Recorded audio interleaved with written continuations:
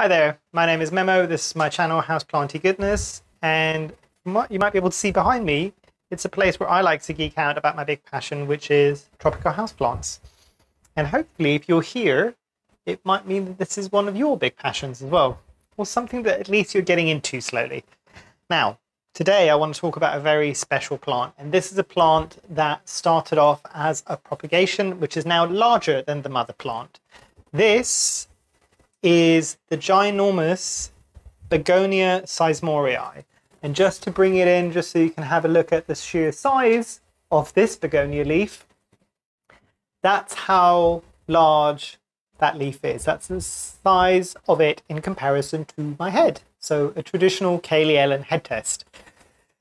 And I know this is one of the begonias that Rachel from Heart Shaped Leaves finally got her hands on recently. And I think that was, oh, it wasn't Logee's in the States. I'm trying to remember now which plant store it is. If I remember, I'll put it up at the top there.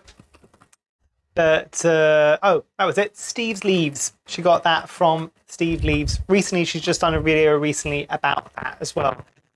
And uh, let's talk a bit more about what makes this plant truly unique. Definitely one of my most favorite, if maybe not my favorite begonia, even more so than my brevirimosa. It's always had a very fond place in my heart. The mother plant that I'll show you in a minute is one of the few plants that I have named, and that is named Chewie from Chewbacca and Star Wars for obvious reasons when I show you the back of this plant. And you might be able to see already the redness that you're seeing on the leaves, but then also what you might be able to see is quite how fuzzy and hairy those petioles are and the backsides of the leaves and also the leaves themselves. You might be able to see that there's a slight bit of hair that's growing there. And that, believe it or not, is called a pubescence in horticultural terms. So very, very cool plant. Granted an acquired taste, not for everybody. I think it's really cool. And this is this is Chewie 2.0. This is Chewie's progeny essentially, but growing like mad. And this is a plant as well that is I don't know if I mentioned this. This is a rhizomatous begonia, if I'm not mistaken. And I've had some challenges, and sometimes rhizomatous begonias can be quite challenging for a lot of people to grow. Cane begonias like the Begonia maculata wightii and the, the begonias that tend to be more upright with angel wing shaped leaves.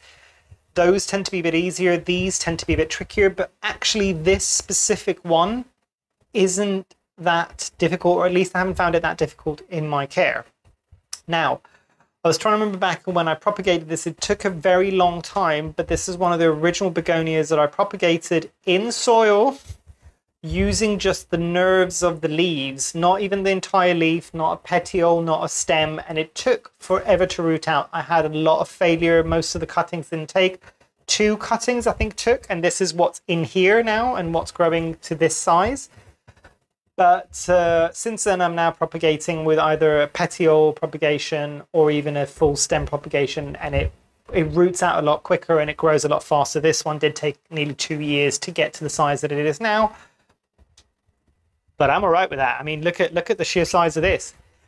The other thing as well to know about this specific begonia, at least what I found in my care, is it's one of those begonias that it doesn't mind on the very rare occasion of going fully dry and then getting drenched. This actually is fully dry at the moment. We're having unseasonably warm days at the moment here in the UK, so I do need to water this, but it won't throw an almighty hissy fit like you might do with other begonias.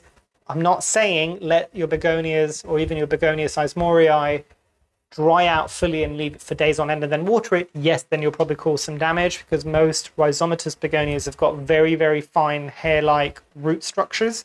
So they can dry out and cause root rot and all of these things really, really quickly. But this is one that I found is tiny bit more resilient. So for a day, I found on the odd occasion, not all the time, I found that it doesn't harm it too, too much, basically. The other thing that I found quite interesting about this plant, and let me show you what the mother plant looks like. This is the mother plant, and if you look at it in comparison, this is so much smaller in comparison. It's growing in a weird, janky way. but it's still doing relatively well. The other thing that I've noticed, and hopefully I'll be able to get a picture at the right time of the day to show you, is that there's a slight bluish cast to the leaves, very similar to the begonia pavonina, which everybody wanted at some point because it was a blue begonia, only to realize when they got it in their care that only at certain light levels did it have a slight blue cast and it was difficult to photograph and it's a very dull just plain green leaf otherwise.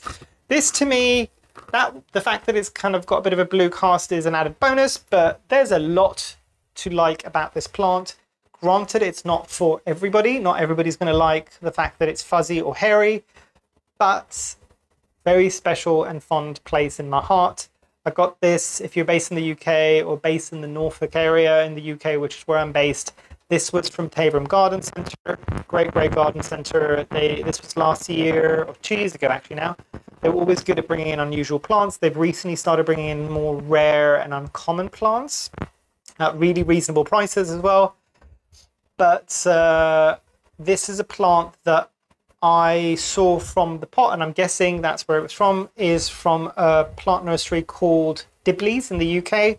And they deal a lot more with gesneriads, with begonias a lot of the time. And I've never bought anything directly from them. And based on this one plant that I got from them, I don't know whether or not actually on the mother plant it might still have it. Yes, you might not be able to see the pot properly, but it says begonias. And on the other side, which is underneath all the foliage, it does say Dibley's. So based on that one plant alone, I would guess they're really good at bringing out quite a few begonias and doing quite well when it comes to growing them. So top tip. And that's something I would never even heard of that nursery. It was something I heard from Jane Perrone on her podcast uh, on the ledge. And the blue hue, and if you want to learn a bit more about blue in plants, I do encourage you to also go and check out Matthew and Stephen on the Plant Daddy podcast as well. They did have an episode where they talked all about blue plants, and I think Matthew had a few things to say about that.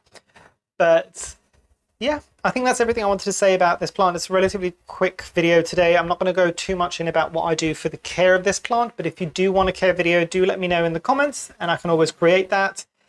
In the meantime, I hope you have a great rest of your day. I hope you've enjoyed, and hopefully I shall see you here soon. Thanks. Bye.